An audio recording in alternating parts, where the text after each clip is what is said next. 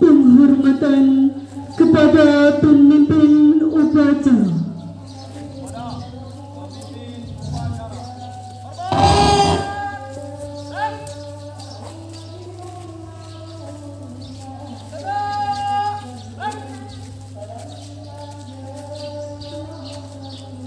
Laporan Komandan Peleton kepada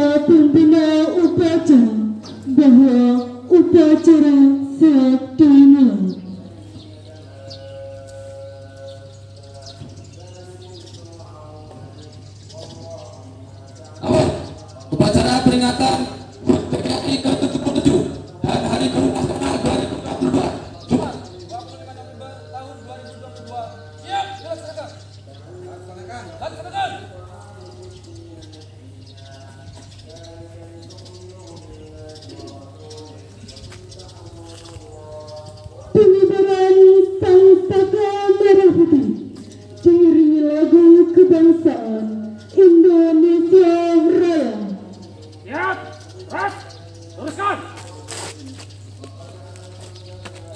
Turun. Mata, tegap, maju.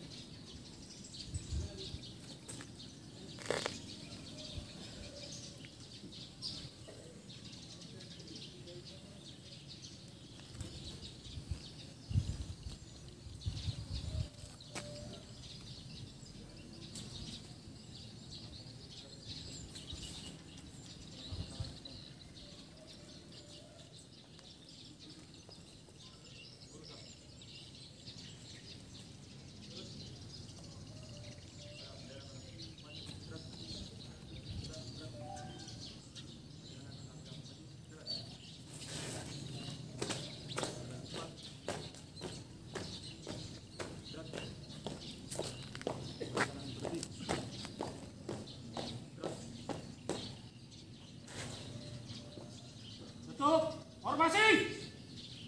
Jalan!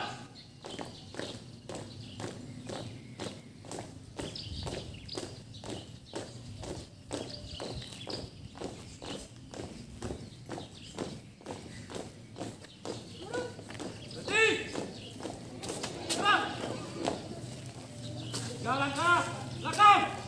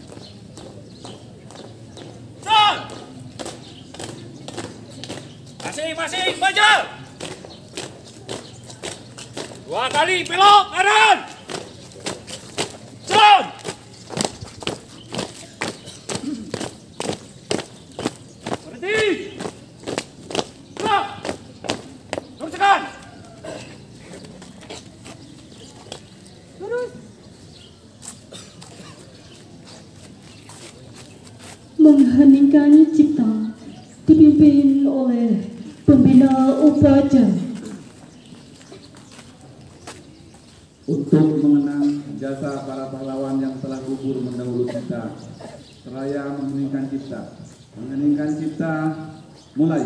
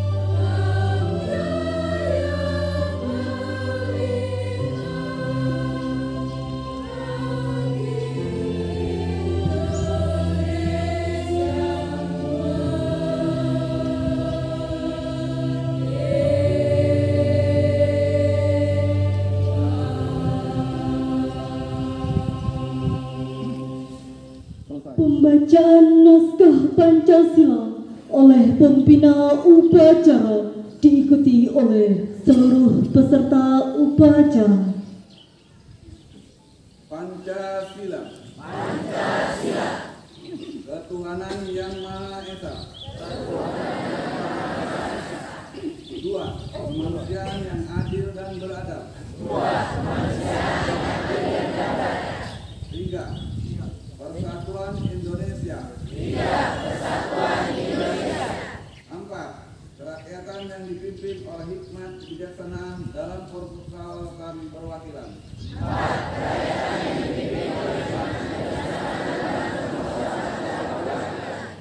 Lima keadilan sosial bagi seluruh rakyat Indonesia.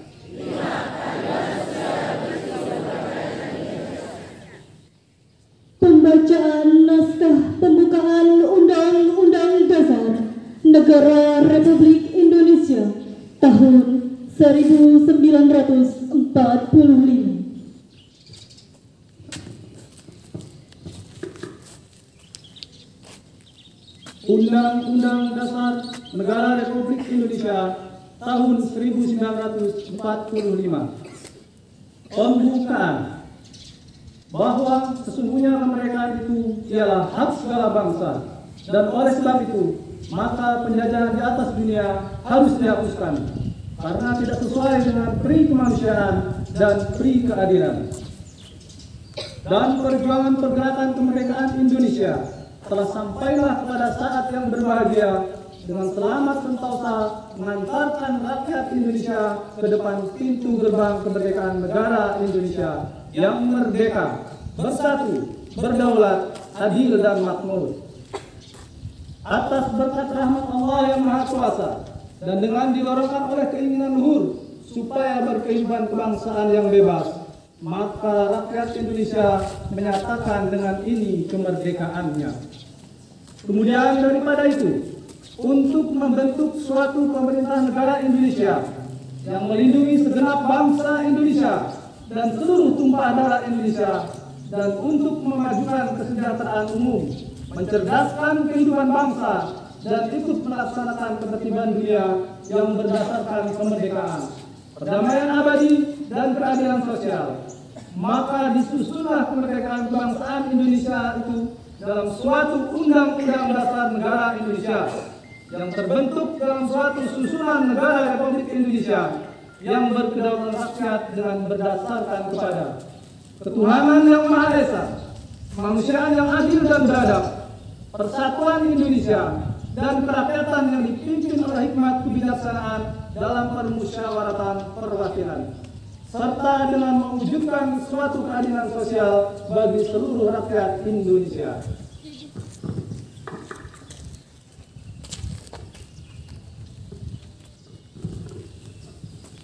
Pembacaan naskah Ikrar Guru Indonesia.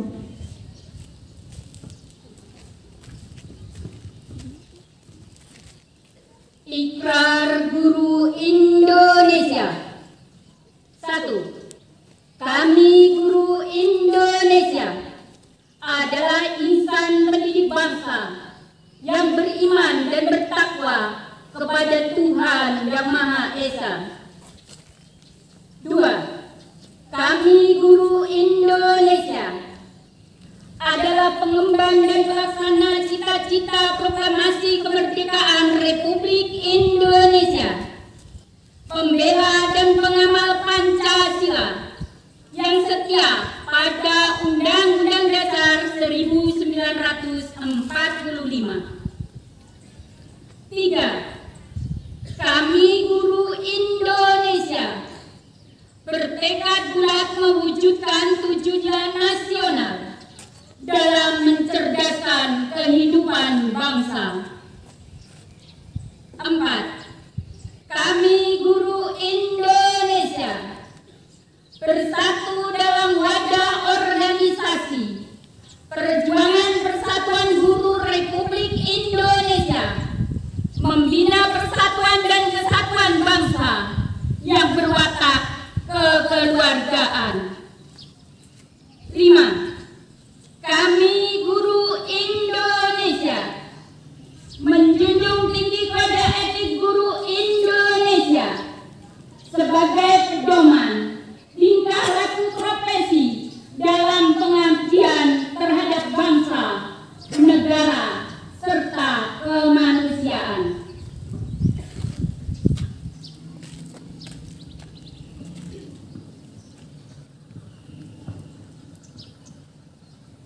Pembacaan sejarah singkat Persatuan Guru Republik Indonesia.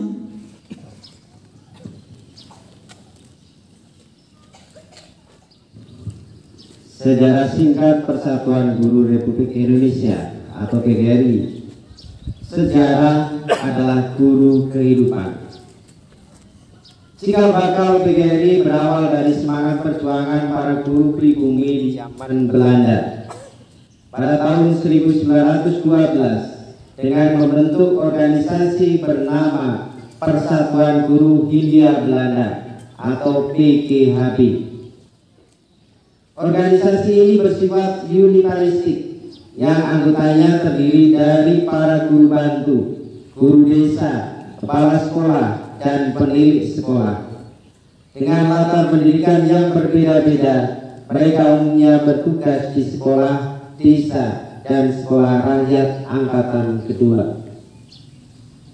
Tidak mudah bagi PGHB memperjuangkan nasib para anggotanya yang memiliki pangkat status sosial dan latar belakang pendidikan yang berbeda. Sejalan dengan keadaan itu, di samping PGHB berkembang pula organisasi guru baru antara lain Persatuan Guru Bantu, Perserikatan Guru Desa, Persatuan Guru Ambat School, Perserikatan, Normal School, Hogiri Quick School, di samping organisasi guru bercorak keagamaan dan kebangsaan lainnya.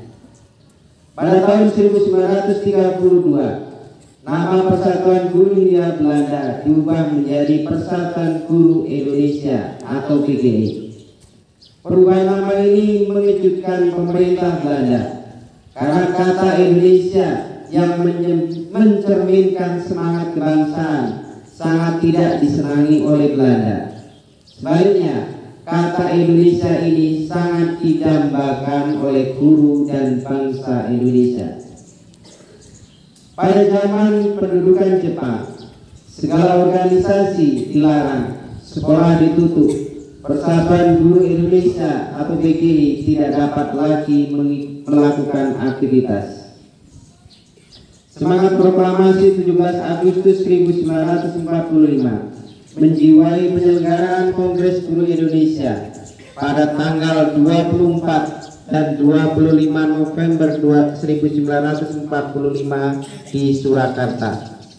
Melalui kongres ini, segala organisasi dan kelompok guru yang didasarkan atas perbedaan tamatan, lingkungan kerja, lingkungan daerah, politik, agama, dan suku sepakat dihapuskan. Mereka adalah guru-guru yang aktif mengajar, pensiunan guru yang aktif berjuang, dan pegawai pendidikan Republik Indonesia yang baru dibentuk. Mereka bersatu untuk negara kesatuan Republik Indonesia.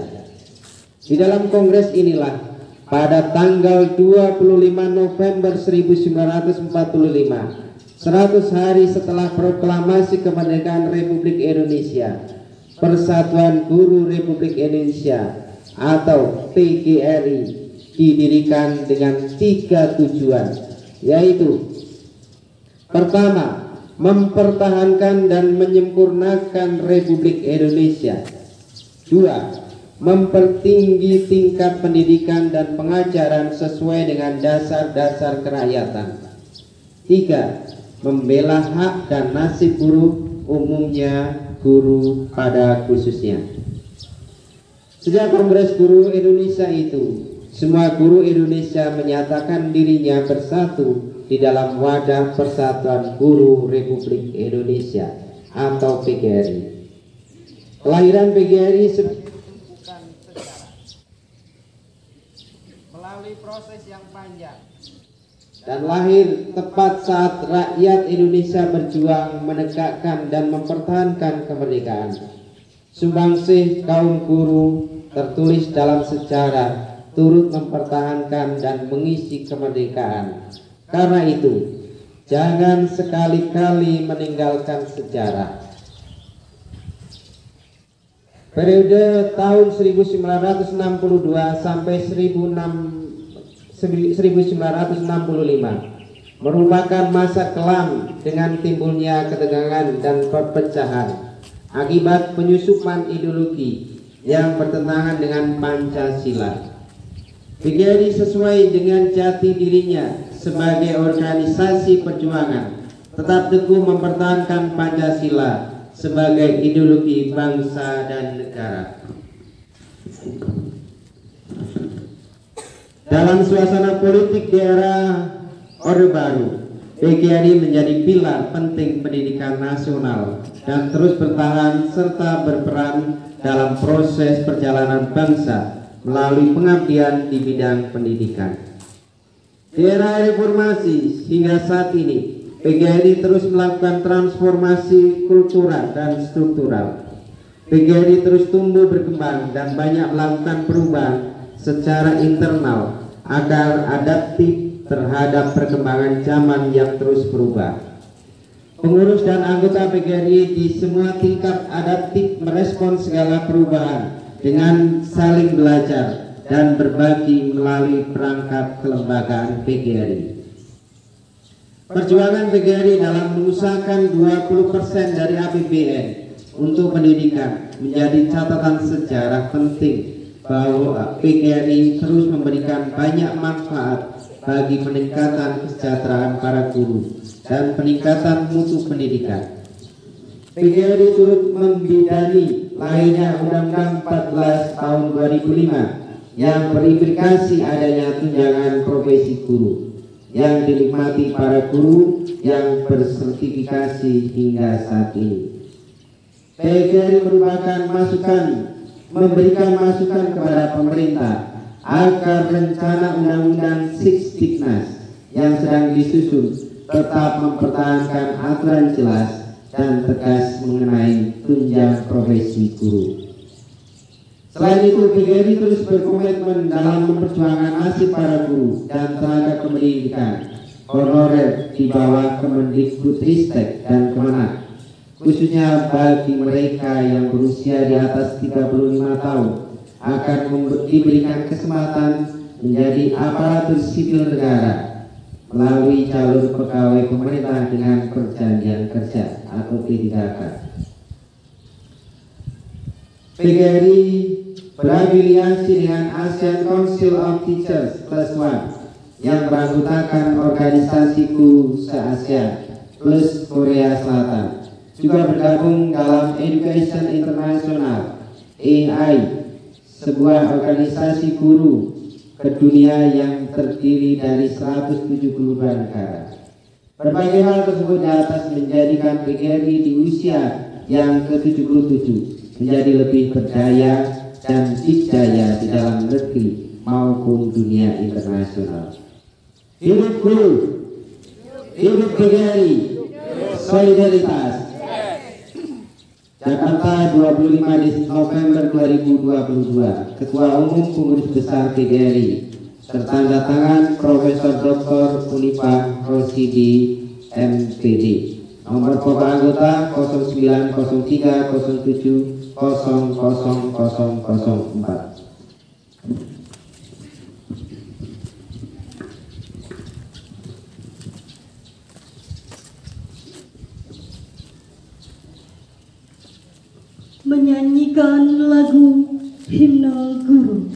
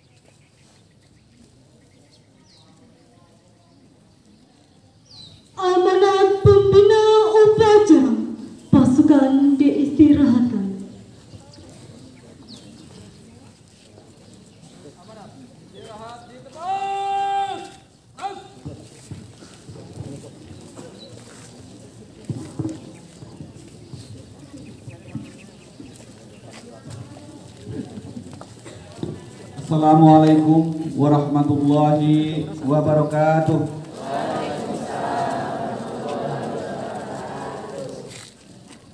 Pada hari ini tanggal 25 kita bertepatan hari Jumat dan ini betul-betul kita melaksanakan peringatan Hari PGRI yang ke-77 yang begitu hikmat melaksanakan ini semua tentunya tak lupa saya atas nama Camat Rawajitu Selatan mengapresiasi terutama kepada seluruh jajaran Dewan Guru dan Kepala Sekolah serta pengawas sekolah. Allah Subhanahu wa taala. Dan saya akhiri wassalamualaikum warahmatullahi wabarakatuh.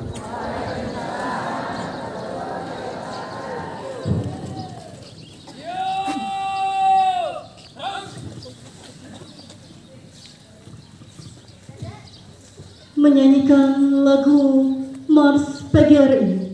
Terima kasih guruku dan syukur.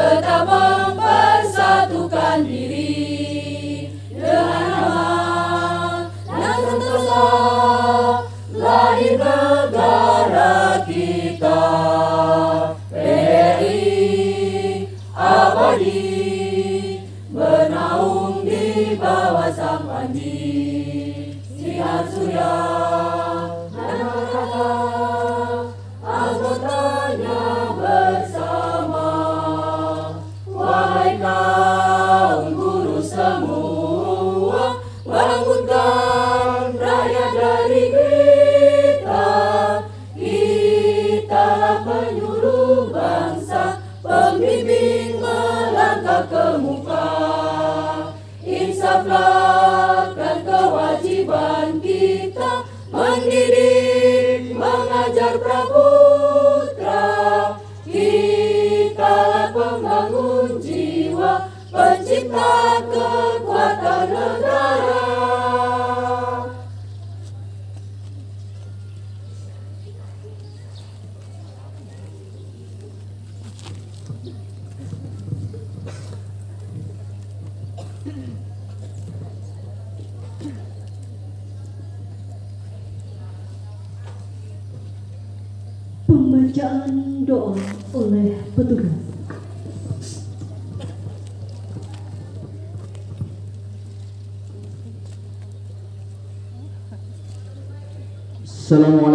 Warahmatullahi wabarakatuh.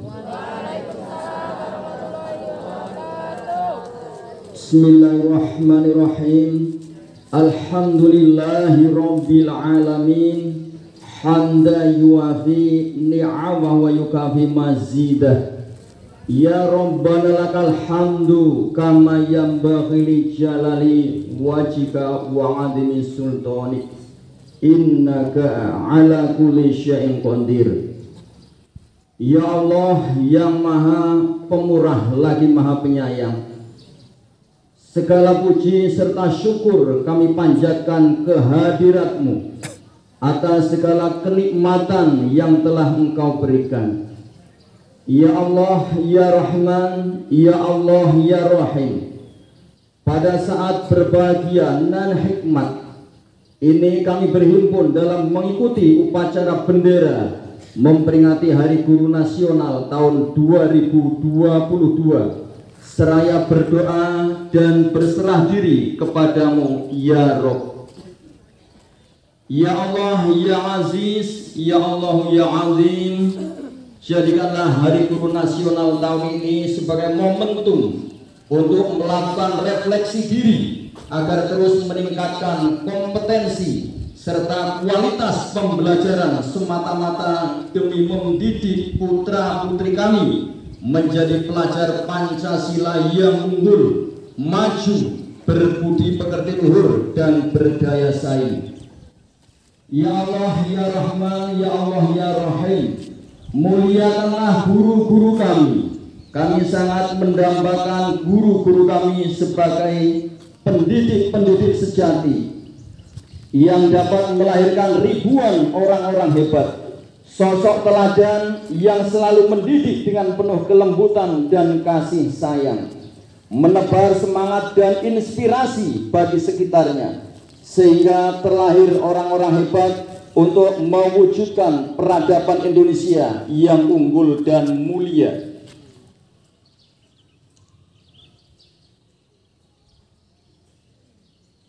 Ya Allah yang maha pengampun Ampunilah segala dosa dan kesalahan kami, dosa bapak dan ibu kami, dosa guru-guru kami, dosa para pemimpin kami, serta dosa para pendahulu kami. Janganlah engkau hukum kami jika kami lupa atau hilaf. Janganlah engkau bebankan kepada kami beban yang berat sebagaimana engkau bebankan kepada orang-orang sebelum kami. Janganlah engkau bebankan kepada kami apa yang tak sanggup kami memikulnya. Allahumma arinal haqqa haqqa warzuqna tiba'ah wa arinal batila batila warzuqna tinabah. Rabbana atina fid dunya hasanah wa fil akhirati hasanah wa qina adzabannar Subhana rabbika rabbil izzati amma yasifun. Wassalamun alal mursalin. Walhamdulillahi rabbil alamin. Ya Allah yang maha mendengar kabulkanlah doa dan permohonan kami. Sekian bila taufiq wal hidayah. Wassalamualaikum warahmatullahi wabarakatuh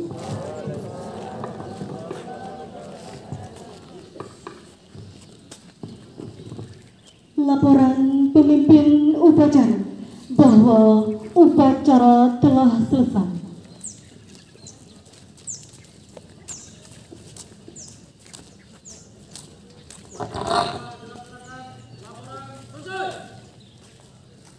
Bubarkan.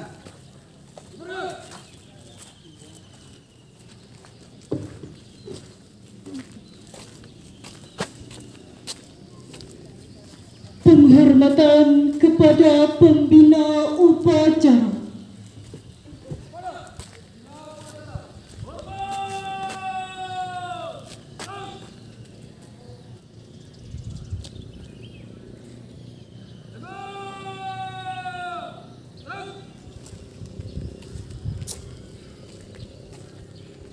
Pembina upacara meninggalkan lapangan upacara.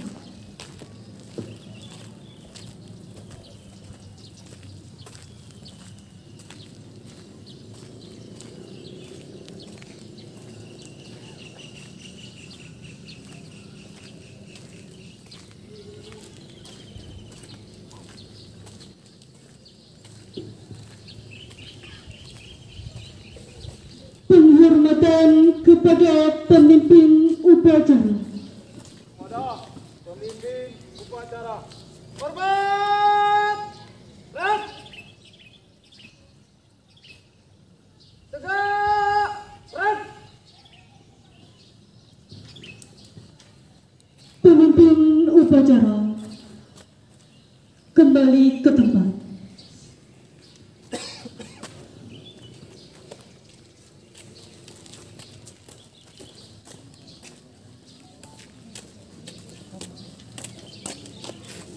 Upacara selesai. Masing-masing komandan peleton mengistirahatkan pasukannya.